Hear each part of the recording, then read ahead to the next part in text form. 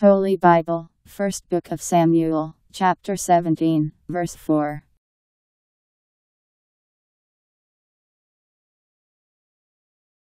And a fighter came out from the tents of the Philistines, named Goliath of Gath. He was more than six cubits tall.